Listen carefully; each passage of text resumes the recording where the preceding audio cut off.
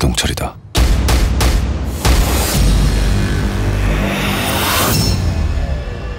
난 특수부대 요원이다.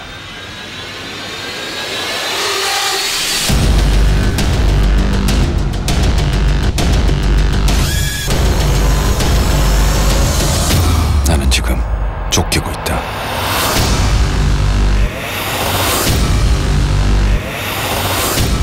이제 놓치면 다 죽는 거야. 누군가를 쫓고 있다. 내 딸아 됐네.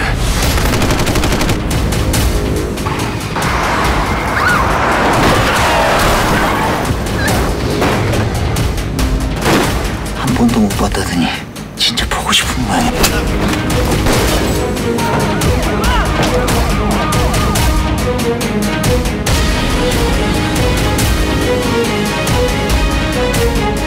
내 손으로 잡을 거야.